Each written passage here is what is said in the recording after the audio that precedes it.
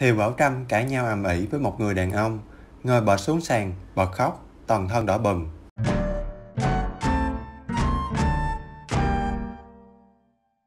Kết thúc mối tình 8 năm, xong, Thiều Bảo Trâm vẫn nhiều lần vướng vào thị phi liên quan đến Sơn Tùng.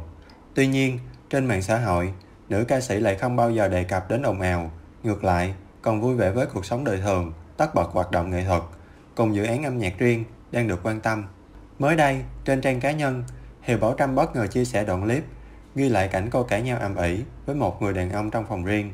Qua âm thanh của clip, có thể thấy giọng ca sau lưng anh có ai kìa đã rất lớn tiếng, thái độ bực tức thấy rõ.